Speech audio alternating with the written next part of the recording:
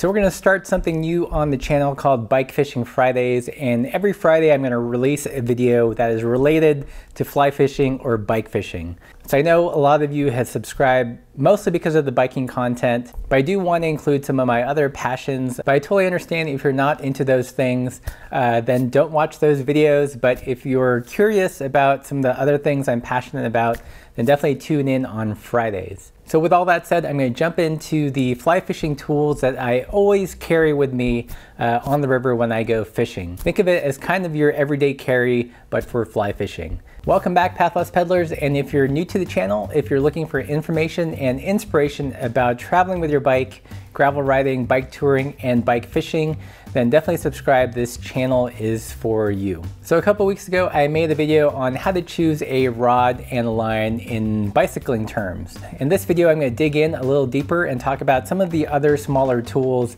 uh, that I always carry out there on the water. Starting out with the first tool, and that is the hemostat. You want to think of the hemostat as kind of the multi-tool of fly fishing. It does everything from crushing barbs, cutting tippet, to uh, pulling the hooks out of a fish's mouth, to even making slight adjustments to fly on the stream. I've used several hemostats in the past, and these are my two current favorite ones.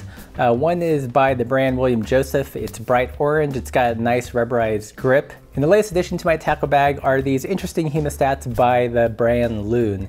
And what sets these apart is that they've actually got a built-in carabiner. So if you're new to fly fishing, usually the way that most people carry hemostat is they use uh, the jaws themselves and clip it onto a shirt or uh, a strap on their body or on their wader. But over time, the uh, gripping force actually will relax on a pair of forceps, or sometimes it'll just kind of pop open.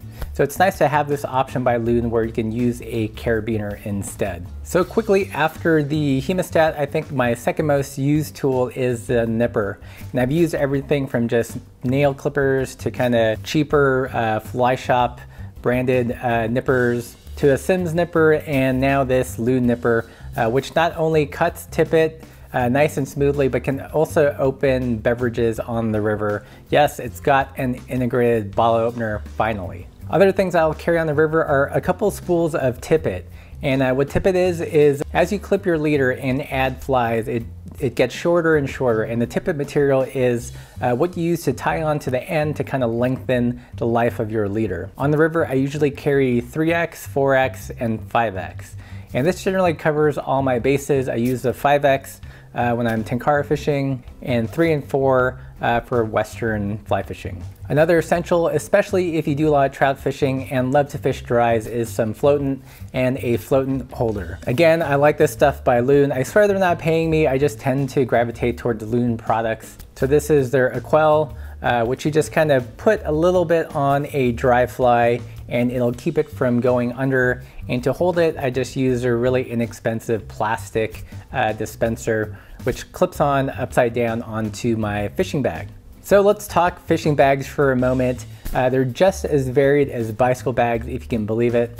There are backpacks, there are sling packs, there are chest packs. I've used any number of fishing bags, almost as many as bike bags.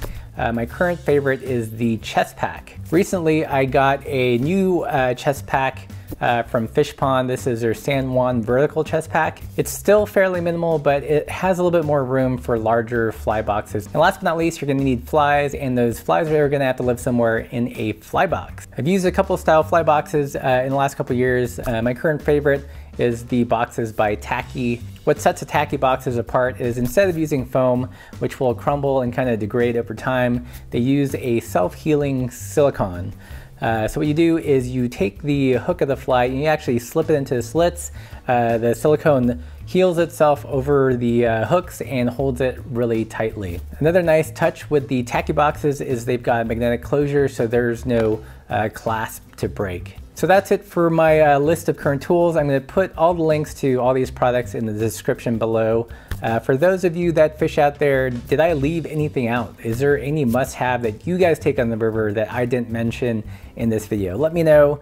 Uh, leave those in the comments below. And if you like this video, found it helpful, don't forget to subscribe and thanks for watching.